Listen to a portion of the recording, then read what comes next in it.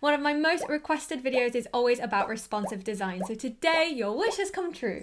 As usual, you have a link to a community file in the description if you want to follow along, and you also have a link to sign up to Figma or upgrade your account. Let's jump in. Now in the file, we have a few elements that we're going to bring into our responsive design. We're going to try and have our design in three different breakpoints. We want a desktop size, a tablet, and then a mobile size. So to start off, let's set up these initial variables. I'm going to go into local variables and then click on create variable and create my first number variable. I'm going to call it breakpoint and I want my desktop size to be 1440. Now I'm going to call this one desktop. Little side note, I'm going to be using variable modes, but if you're on a free account, you don't have those. So you can either use the link in the description to upgrade your account, or you can just create different variables for each one of these. And then later, instead of changing mode, you just change variable. I'll remind you of this as we go along. So I've created my first mode, which is desktop. Then if I click on this plus, I'm going to create the new mode, which is going to be tablet. And for this one, I'm going to set the width to 768. And then one more mode, mobile, and for this, I'm going to use 390 because I feel like that's kind of a good average of widths of phone sizes. And if you're on a free account, as I said, just create three different variables, breakpoint desktop, breakpoint tablet, breakpoint mobile. So let's drop in a frame to just start us off on that. I'm going to click on F and drop in a frame. And then where we're going to select our width, I will assign it to the breakpoint variable. So already this is great for us. It's 1440. I'm going to make the height a bit taller. And then we know that if we go into the apply variable mode button here, I can change it from desktop to tablet, which will make it 768, and I can change it to mobile. So that is the basics of everything we're going to do. Now that we've set up our modes and our breakpoints, we're going to continue from here and we're going to set a layout grid. So we are going to create some variables that set what our column grid is going to be for desktop, tablet, and mobile and then it will just change responsively, which will be the starting point that will kind of determine how everything else is going to work out. So I'll go back into my local variables and then I'll create a new number variable and I'll call this one columns because this one is going to determine how many columns I'm going to use for each one of my breakpoints. So for desktop, the kind of best number to use I think is 12. Then for tablet, I'm going to use 8. And then for mobile, I'm going to use 4. Now, because I'm using just number variables again, I can click on Shift and Enter to just create a new one. And for this one, I'm going to set the margin now. The margin is the space between the end columns and the side of your frame. So almost like the padding if we're talking in auto layout terms. So the margin for desktop is going to be 96, then 24 for tablet, and for mobile it's going to be 16. Next, I'll set the gutter. So the gutter is the spacing in between the columns. It's almost like a gap or spacing, if you will, for auto layout world. So in desktop, that's going to be 32. Then I'm going to use 24 and 16 again. Yeah, that feels right. So now let's set up our layout grid. I'll select the frame that I've been using and bring it back to desktop mode. And then I'll add a grid. Now, if you are using the new UI, that has moved kind of further down in the hierarchy. It used to be a lot higher above, but now it's here layout grid. Instead of grid, I will go with a column and then I'll go into my options and just set that up. So my count is going to be columns. Then type, keep that on stretch. My margin will be my margin and my gutter will be my gutter.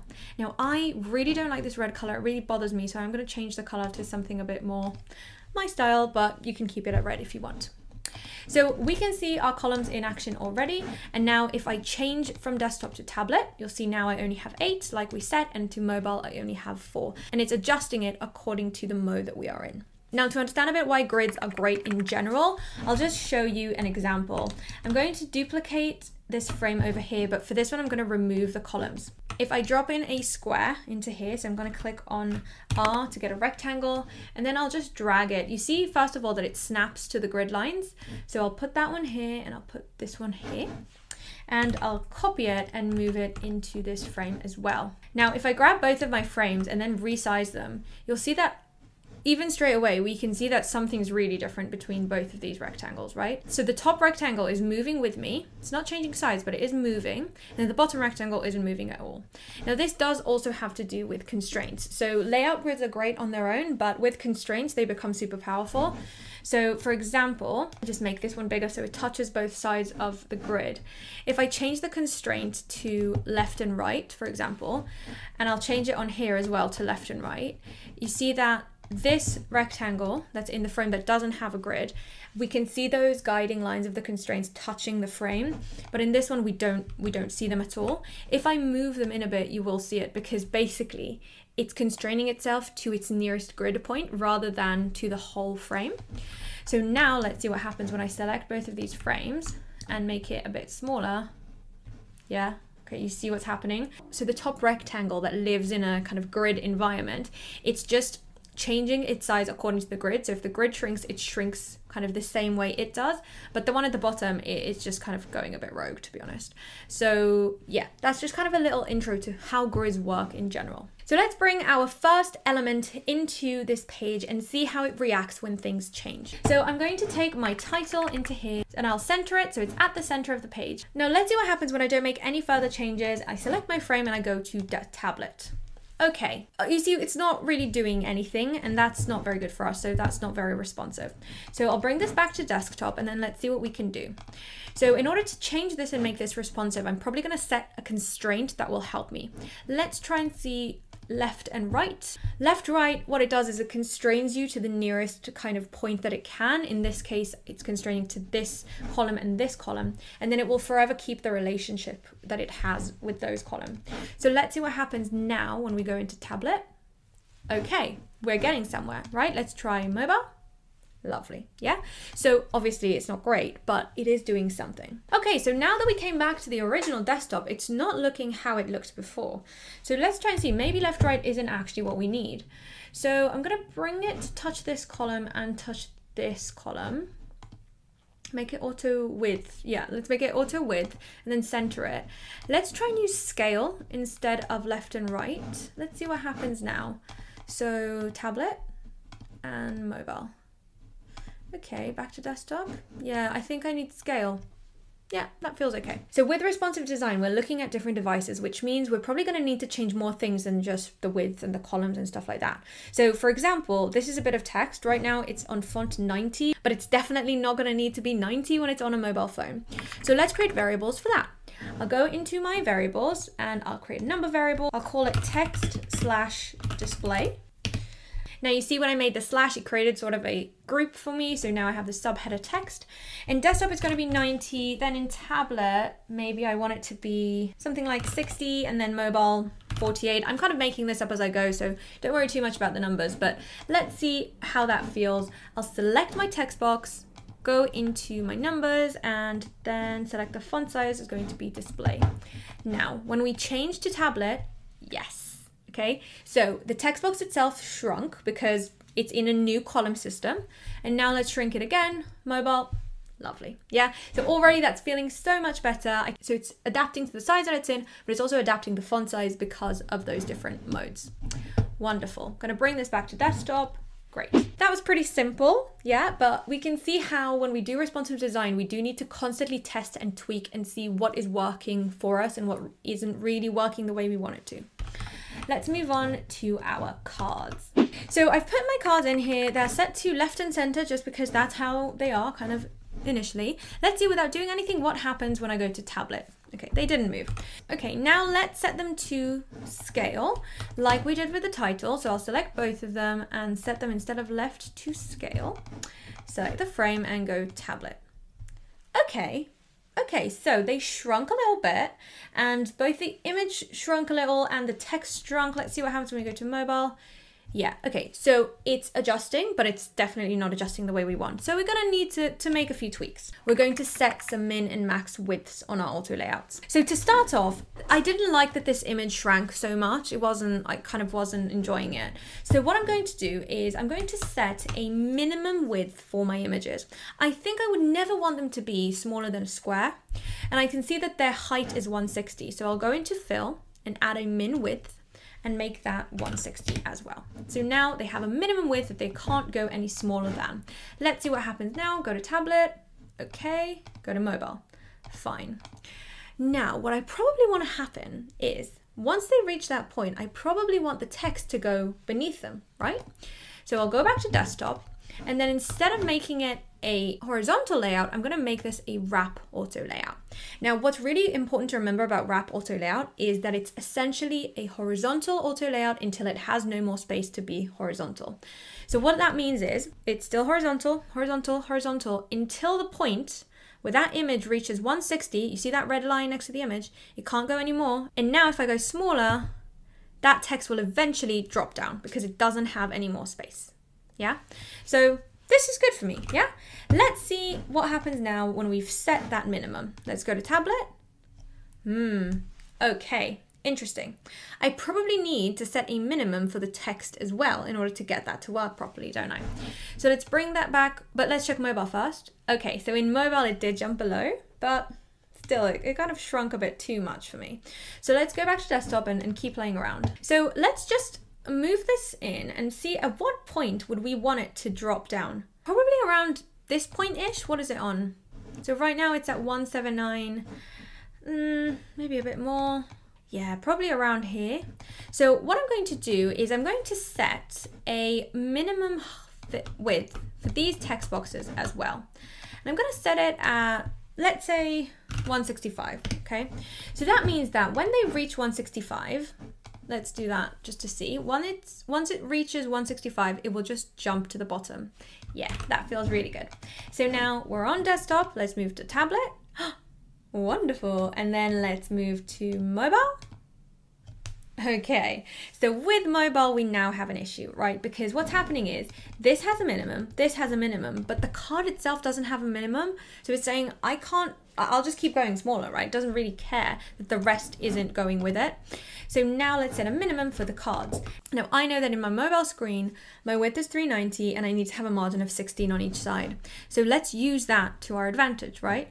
I'm going to set a minimum width and I'm going to set 390 minus 16 minus 16 and that's going to be it. Now that I've set the minimum width, I can't have it be scale anymore. So you see when I go into constraints, I don't have scale. And I also don't have left and right.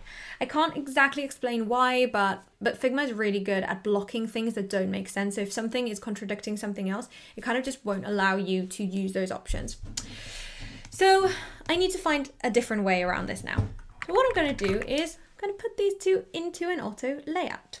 So I'll select both of them, put them in an auto layout, Shift A, and I'll use all of those variables again. So my horizontal padding is going to be my margin. My width is going to be my breakpoint. And I'm also going to make sure that it's set to a wrap auto layout. I'll center this, I'll select the cards inside, and I'll set them to fill container. So they're taking up as much space as they can while maintaining the rules. So 96 padding on the sides and 32 in between them. And then I'll make sure to set the auto layout that they're in to scale because we know that that's what we need. Selecting the frame between desktop to tablet. Okay. And then mobile is going to stack them underneath each other because it knows that 358 is kind of the smallest it could go. Now there's just one more thing that I want us to do. Just like we did with our title, we also need to change the text size for the cards themselves when we're using different breakpoints. So we go into our local variables. Inside of the text group, I'm going to add shift and enter to add a new number variable and I'm going to call this one title. And in desktop, it's probably going to be 28 then in tablet, maybe 24. Then here, maybe maybe 22 yeah and then also let's make a body. So I'll just duplicate this one and then body. In desktop probably 18 then 16 maybe 16 on mobile as well. Yeah that's good. So now let's assign it. I'll select my body text in both and then in the drop down just go all the way down to the variable and select body. Then the same for the title Go all the way down and select title. Great. Now let's see it in action again. Go to tablet.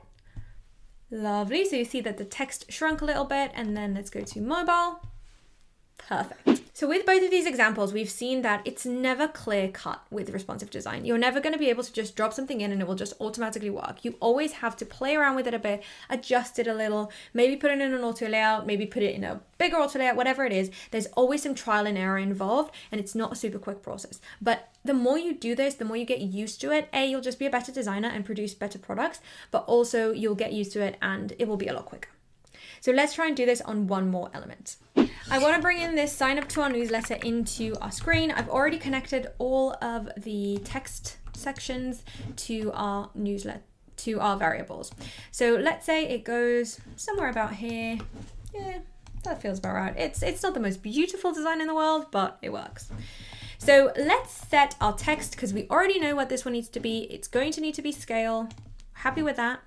And then this form, I'm going to try and set it to scale and let's see what happens, okay? All of the elements inside of it are set to fill, so they should dynamically move. Let's see what happens when we go, I'm just gonna make this a little bit longer. Let's see what happens when we go to tablet. Okay, it kind of shrunk.